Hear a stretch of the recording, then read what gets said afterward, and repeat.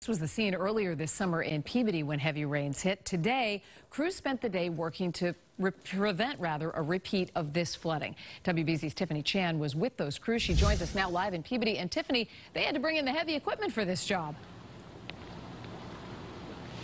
Lisa Emerson Avenue here in Peabody is one of those neighborhoods just notorious for flooding. That's why neighbors really want to get ahead of the downpours by bringing out their hoses and their pumps, trying to keep their basements as dry as possible tonight.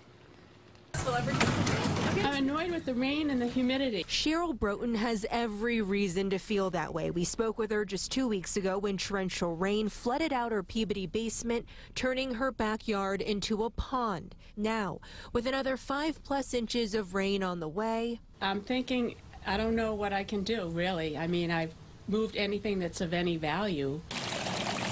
As the floodwaters move in, it's been tough for hardware stores like Robinson's in Framingham to keep up. What is in demand right now? Anything to do with water. We um, certainly have sold more water pumps this year than normal. Step one.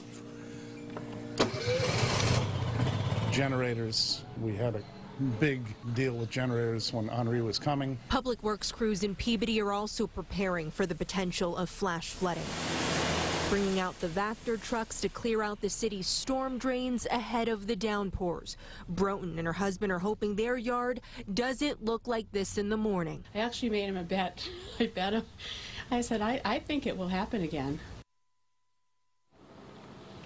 And just about every home along Emerson Ave have these hoses out. Neighbors tell me it's the combination of having so many ponds nearby, them being overflown because we've gotten so much rain this summer. The city says there's only so much they can do to prevent flooding. From Peabody, I'm Tiffany Chan for WBZ News.